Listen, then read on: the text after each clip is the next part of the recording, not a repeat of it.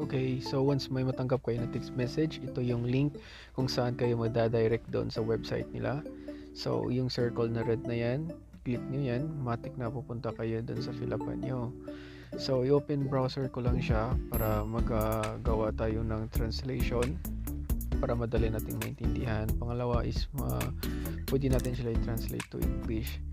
So wala nang ibang translation to kaya yung nasa rectangular red na yan, click mo lang yan. Start na natin yung uh, fill up. Tatlong makikita na choices nandito. Um, ang una, in English, yan yung um, reservation. Pangalawa naman kung check yung reservation. So click niya yun. Tapos dito tayo so buuin yayak meaning ikaw ang mag magyayak or ikaw yung mag-schedule. Dito naman sa Terry, yayak, may guardian or sub, like for example, kung ikaw mag um, schedule sa parents mo na hindi makaka-active online. Now, when you're done, um, dito naman is yung personal information mo. Kung anong nilalagay ng uh, information sa ARC mo, yun yun din ilalagay. So sa akin naka-save na yung mga information ko dito. So kiniklik ko na lang para mabilisan na lang siya. At again mga kachoy no, once anong nalagay nyo sa ARC, last name, tapos first name, tapos ang ARC number nyo.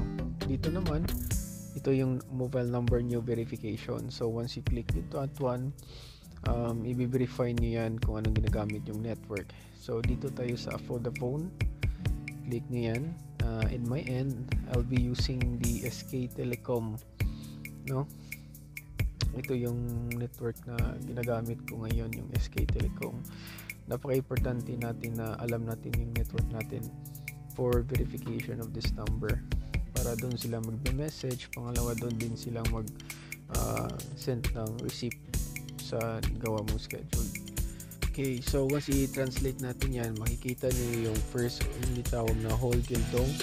Yan yung pangalan niyo. At ilagay niyo foreigner or Wikoken. And complete information po regarding sa lahat ng mga uh, input po natin. Okay, so follow nyo lang yan. Nung nalagay dun sa ARC, yun din yung ilalagay nyo.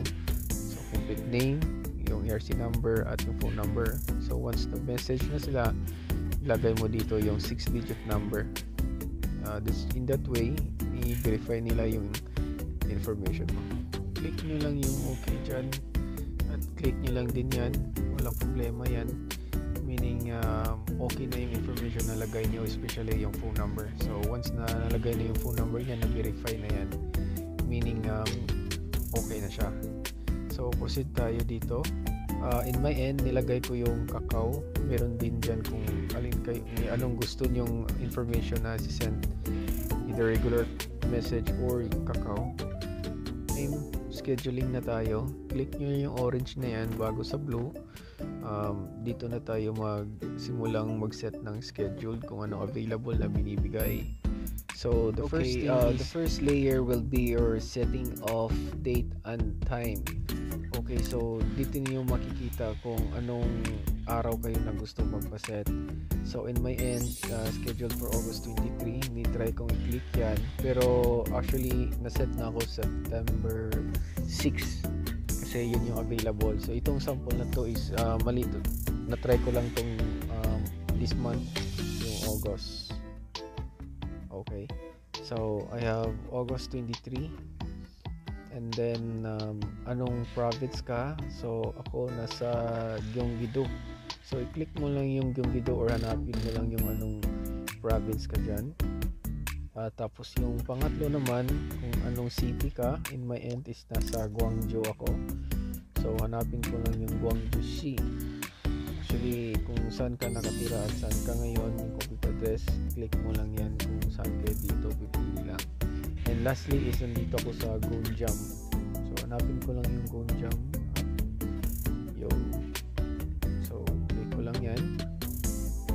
Pang-apat para sa complete address ko. And yun, okay. So dito nyo makikita na uh, yung pinipilapan nyo is may resibo.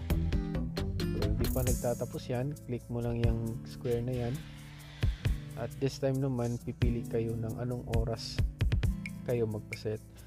Um, in my end, nitry kong mag-set ng alas dos ng hapon. Available time and date kung saan kayo. Pipili lang kayo kung anong gusto nyo. Dito sa first uh, layer is yung morning. May 11, 10 at um, yun nga, 9. Tapos after lunch naman may alauna, 1, uh, 13, 14 at 15. Meaning kung sa hapon naman kayo. I-try ko lang click yan, makikita niyo ilang tao nandun sa uh, schedule or oras na yan. So like for example, itong 8.30 na to, alauna, may 26 na tao. Kung i-click ko naman yung 14 or alas 2 yan, military time, may 26 pa na tao naka-register dito. Okay, so we're done for the set and day and time. Uh, tapos na tayo. So, click yung blue. At yeah. So, ito na yung complete information. Ito na yung resibo mo na meaning na tapos ka nang mag-register. Makikita mo din dito yung um, yung tinatawag nating YAYAC number. So, kailangan mo yan. Screenshot mo yan. Tapos, yung date, first dose mo, yung araw na niset mo ngayon at yung second dose after a month okay uh, click mo lang yan para meaning you have the informations already at hintayin mo lang yung text ng kakao or regular text kung saan ka naggusto mo matanggap yung message once you have already see this kind of uh, dashboard no sa apps mo meaning tapos ka na mag reserve ng schedule sa EA mo pwede nating i-check yung ni-reserve mo kung meron na ba So again, yung sinasabi ko is dala, tatlo, tatlo yung rectangular na yan. I-check natin yung so yung pangalawang layer na yan is yun yung check your reservation. So yan, dito tayo. Click natin yan. And as what I said, kailangan natin yung complete information. So ito yung pangalan mo. So ito yung complete information ko. Ito yung pangalan nilagay ko. At yung ARC number lagay mo yan yes ganito yung bono na ni-reserve mo or iayak number so ilagay mo yun dyan case ito yung iayak number ko so yun yung ilagay mo sa reservation sheet yan yan dapat full information talaga para malaman mo na totoo ba or natapos mo ang yung pag-iayak sa vaccine reservation. So, I think ito yung complete information ko. Okay. And once done,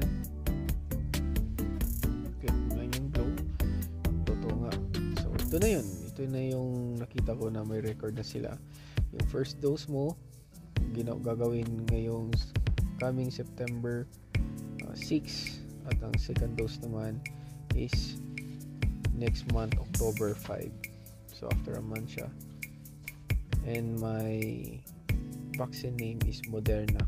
Uh, wala tayong choice kundi tanggapin kasi yun yung binigay sa kanila hindi tayo pwede makapili and as I believe ang Moderna is uh, designed vaccine for the ages 18 to 49 years old.